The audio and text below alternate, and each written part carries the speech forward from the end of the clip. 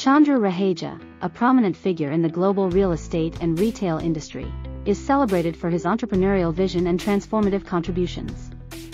Born in India in 1944, his journey from humble beginnings to becoming a respected industrialist reflects dedication, innovation, and an unwavering commitment to excellence. Raheja's foray into the real estate sector marked the beginning of a remarkable career. His first venture, K. Raheja Corp., initially focused on real estate development. Under his visionary leadership, the company rapidly expanded, becoming a prominent player in India's real estate landscape. One of Raheja's standout achievements was diversifying the K. Raheja Corp's portfolio. The company ventured into various sectors, including hospitality and retail.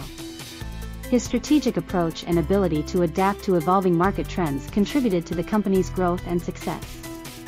Raheja's leadership philosophy emphasized innovation, quality, and customer satisfaction.